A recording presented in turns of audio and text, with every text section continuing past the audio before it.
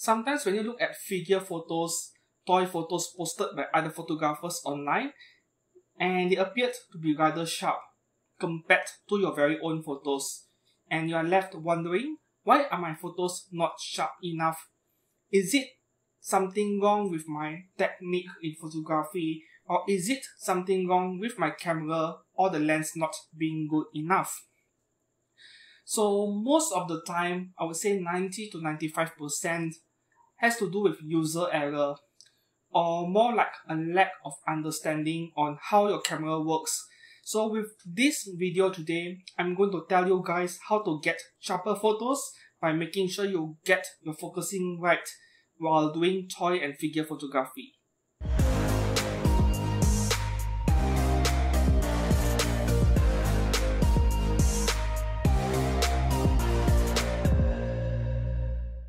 Hello and welcome to EXkurogane Blog and Photography. My name is Steven and with today's video, I'm going to give you guys a very important tip in toy and figure photography, which is how to get sharper photos when you're photographing your figurines. It sounds like a topic that has been discussed countless times, right? So many times you will find a lot of videos, tutorials online telling you how to get sharper photos in photography in general. So there is a specific issue that is unique to figure photography and I would like to discuss about it in today's video. So as I mentioned in the earlier parts of this video, sometimes when you take photos of your figures, it is more of a lucky draw. Yeah, lucky draw. Maybe half of your shots are in focus, the other half are not. And you are very sure that your focusing technique is correct. You were even on a tripod, maybe even using a timer, yet your photos are missed focus, the eyes aren't quite as sharp when you zoom into the figures face to check. So what actually went wrong? It has to do with the autofocus system. Now this doesn't mean your camera is crap or your lens is not good enough. You need to understand how the autofocus system in a camera works in the first place. So regardless of whether you are using a DSLR through the viewfinder or the back screen or a mirrorless camera, it doesn't matter what kind of dedicated camera you're using, the autofocus works in a very similar fashion. So when you are photographing a close object, you lock focus on a close object. The camera knows that you are doing close up photography. You are photographing something in close proximity. The camera knows it. So regardless of whether you're using what autofocus mode, single point autofocus, pinpoint autofocus, automatic detection, doesn't matter which mode you are in, the camera knows they are photographing something near to the camera. We call it close-up photography. So in this kind of scenarios, the camera autofocus system will always prioritize the closest object to the camera in terms of physical distance. Let's say you place your autofocus box on a figure's face, the box should be relatively large. And you half press, the camera confirms focus locked and then you take the shot. Yet the shot is still a bit blurry, ever so slightly blurry. So the problem with this is that autofocus systems always prioritize the closest object to the camera in terms of physical distance. So what does this mean? When you look at the figurine from the side, the side view of a figure, right, you look from the side, you will notice that the face of the figurine, the face plate is recessed behind the hair. The hair is often in front and then the eyes are right behind it. So what happens is that sometimes the camera will lock focus on the hair in front instead of on the eyes. The eyes is probably 2, 3 or 5 millimeters behind the hair fringes in front. So essentially, your photos are missed focused or front focused by a few millimeters, which is why they are never sharp. You will notice that the hair in front is rather sharp, but not the eyes, because that is where the camera focused at. The type of figurine you are photographing will affect the probability chances of the camera misfocusing or not. For example, if you are focusing on Nendoroid, you're photographing Nendoroids, their eyes are so large that you will almost never miss focus with any autofocus system in any camera. However, when you're dealing with a scale figure like this, things gets a bit challenging. Now, how does a camera detect what to focus in the first place? There are two things to look out for, color and contrast. So, if your figure has a very bright, very colorful eye, for example, the figure has a white color hair and red color eyes, yeah, most likely the camera will lock the focus correctly on the eyes despite the eyes being recessed behind the hair. But if you are dealing with a figurine, for example, this figure of Makise Kurisu from Good Smile Company. So you see, her eyes are fairly pale in color, and then the colors on her hair are a lot richer, more contrasty.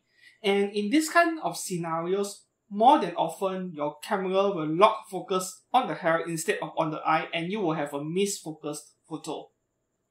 It will happen very frequently, I guarantee you. So colors and contrast are a major factor. So if the eyes are very pale or not rich in color, very pale in color, and then you have a hair, the hair which is richer in color, then you can expect the camera to misfocus. And then the next thing is that the figure design itself naturally. For example, this figure by Alter, you see her hair is almost covering her eyes. You can only see a bit of her eye in between the hair strands. I will guarantee you 95 or 100% of the time the camera will not lock focus on the eye because the hair is getting in the way in the first place. So this is something to be expected. There's nothing wrong with your camera. That is how the autofocus system works and if this happens too often, you will have to resort to manual focusing, which is to switch to manual focus mode and then you zoom in a live view and you will rotate your focus ring until you get the maximum contrast or sharpness on the back of the camera screen on the figure's eye. Then only you set a timer and take the shot.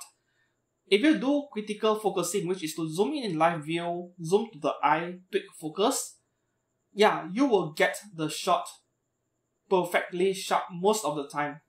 Unless you made a mistake somewhere else, such as not using a timer while you're using a slow shutter speed. So in that case, you might encounter camera shake blur. So yes, there's one issue with autofocus. They lock focus on the closest part of the figure. And then the next problem has to do with the surroundings you are photographing your figure in. Now cameras, they are different from the human eye. What we perceive our human eye as being bright enough is considered not bright enough or a bit dark for the camera sensor. So more than often if you're photographing your figures indoors, not outdoors, indoors, and without any sort of lighting. The chances of the camera misfocusing is a lot higher. So when what the camera sees is that it's relatively dark. The camera sensor is seeing something relatively dark, which means it cannot differentiate which area in the scene is higher contrast. For example, if you have hair and you have shadow under the under the hair, which is obscuring the eye, yes, the camera is very likely to misfocus. So that's one thing to bear in mind, your surrounding ambient light, very important. And then you need to know about DSLRs, especially this viewfinder on top here. You will see dots in the autofocus system. When you use an autofocus system in a DSLR via the viewfinder, which is to shoot through the top piece, top eyepiece over here, always use AFS autofocus system, single point autofocus, which means you will be choosing only one specific dot, move the dot to the figure's eye, lock focus and take a shot. Don't use auto area autofocus, which means you let the camera decide what to focus. If you let the camera decide which point to use, yes, you will miss focus most of the time because the camera will choose to focus on the closest object in the scene, which can be the figure's arm, shirt, hair or elsewhere, but not the eye. So always use single point autofocus. If you are on autofocus, But otherwise, just put your camera on a tripod, use live view, that is more foolproof. You will get the focus hit rate a lot higher most of the time.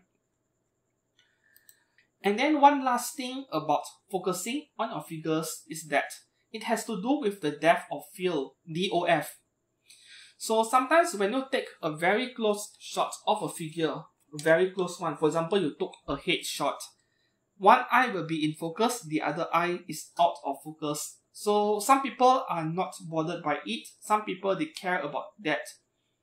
So when you are focusing at a very close distance, what happens is that the closer your focusing distance is, the nearer you are to the figure, the less depth of field you have, which means the less amount of area will be in focus. This is physics, this normal physics. So when the depth of field, the amount of area that will be in focus is so thin and so little, you will reach a point where only one eye is in focus and the other eye is out of focus. So in this kind of scenario, what can you do?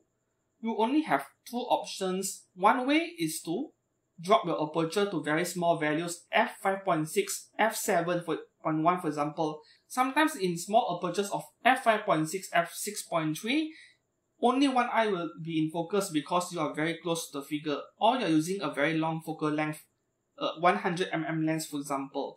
So in this kind of scenarios, what you can do is you have to do manual focus. That is your only option. In live view mode, you will tweak your focus ring until there is a balance or equal sharpness between both eyes before you take the shot. And that is about it for today's video. I hope this piece of information is helpful to you guys. If you do have any questions regarding photography in general, please do not hesitate to drop down a comment in and I will get back to you as soon as possible. Thank you very much for watching. Have a nice day and I shall see you again. Goodbye.